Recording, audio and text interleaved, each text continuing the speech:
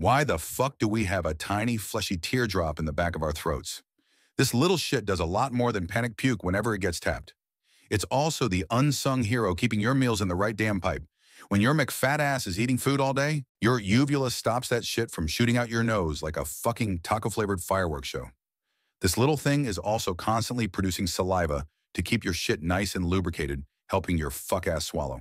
The uvula even has a fucking muscle inside, flexing just to help your illiterate ass form words. This little bastard sometimes fucks around and decides to swell up or droop down like your grandma's triceps, blocking your airways. Now your ass is choking on a glizzy because you can't fight the urge of processed food.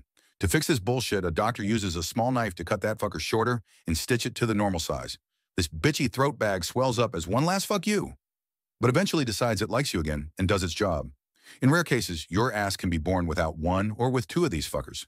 So yeah, next time you're choking on a Cheeto, blame your snack addiction, not the throat bag doing its best.